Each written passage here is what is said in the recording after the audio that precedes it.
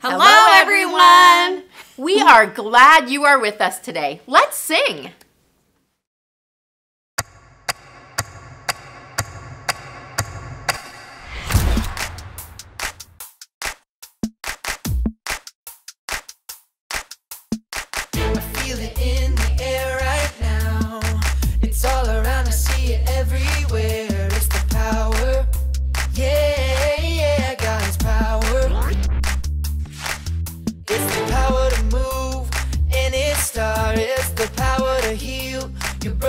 heart is for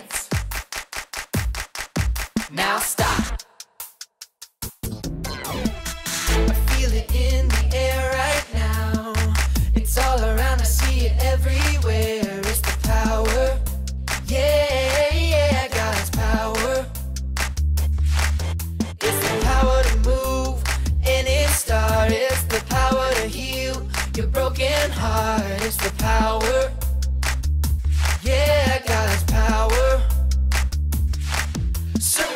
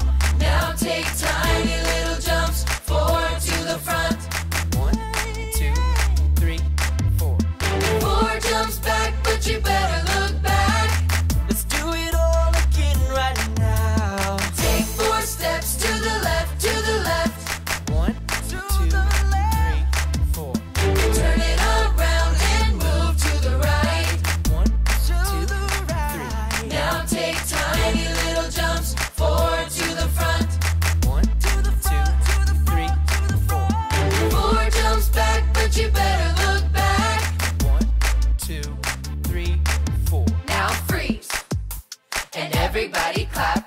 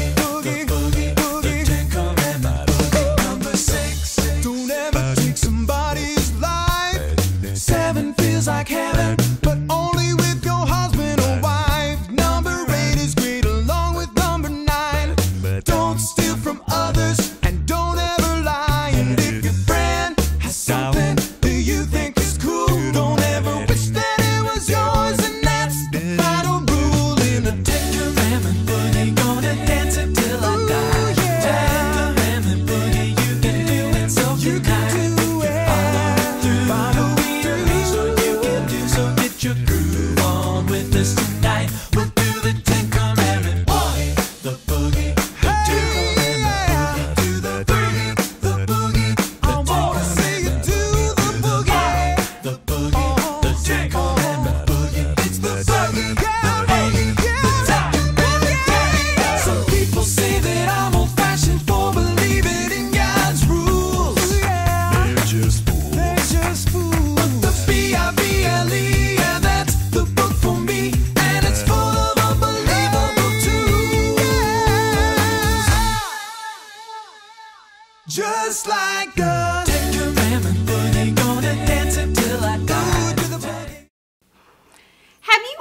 Played a game and someone says, We aren't keeping score or everybody's a winner?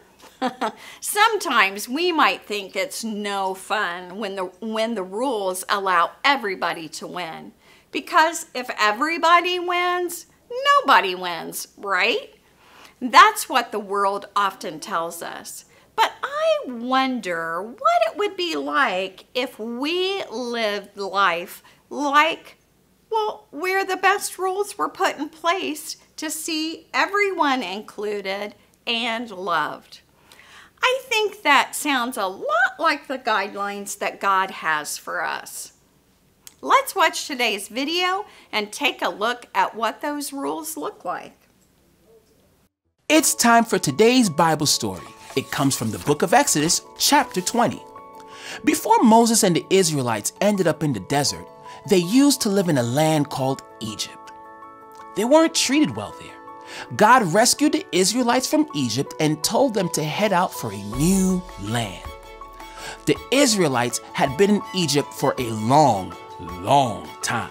They didn't really know how to live out there on their own. So, God guided them by giving them commandments. These were like rules. Sometimes we don't like rules, but the reason for these rules was to help the people of God to know how to love God and each other. First, God told them to put God first in everything.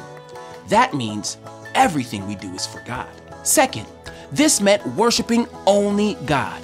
Some people worship fake gods or they worship created things like trees or birds. God instructed them to worship the Creator, not the creation. Third, since God was the only real God, they needed to respect God's name. That meant taking care of how and when they said it. Thought and care should go into each time they said God's name. This is also a way to show love to God. Fourth, believe it or not, we can also show God love by resting. God made it that way. God rested on the seventh day of creation. God instructed the people to rest on the seventh day of the week also. How cool is that? we can love God by simply resting. Fifth, God instructs the people to obey their moms and dad.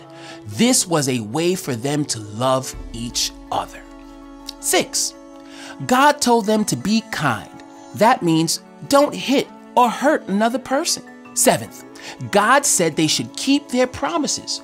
Doing what you say you'll do is a way to show love to others.